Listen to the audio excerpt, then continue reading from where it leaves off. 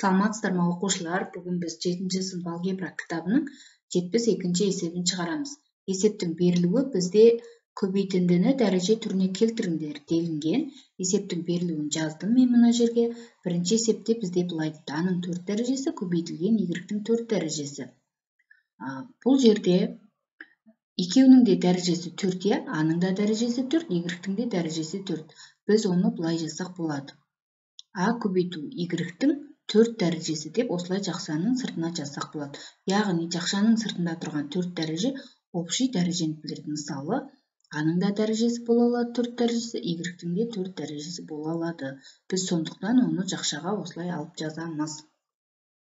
Екіншісінде де дәл солай аның үш дәрежесі x-тің үш дәрежесі y-тің үш дәрежесі иә?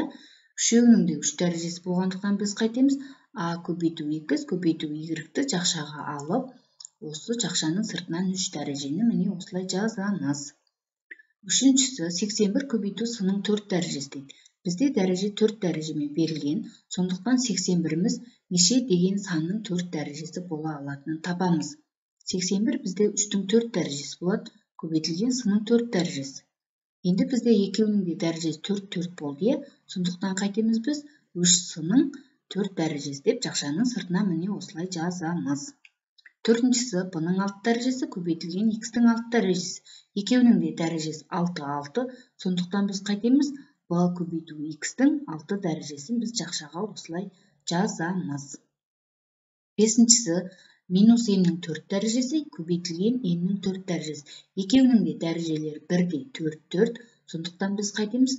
Минус n көбейтілген n-ді жақшаға алып осы жақшаның сыртынан төрт дәрежені жазамыз. Алтыншысы нөл бүтін он мыңнан он алты көбейтілген пидің төрт дәрежесі. Бізде дәреже төрт дәрежемен берілген. Сондықтан біз қайтеміз.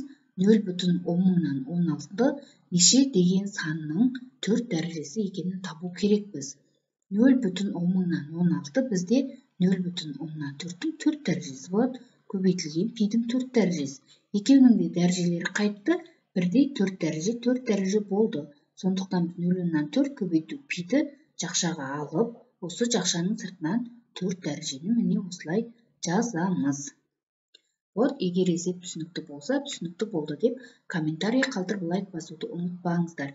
Және де сіздерге нешінші есеп керек сол керек есепті комментарияға қалдырсаңыздар мен есепті шығарып видео салатын боламын.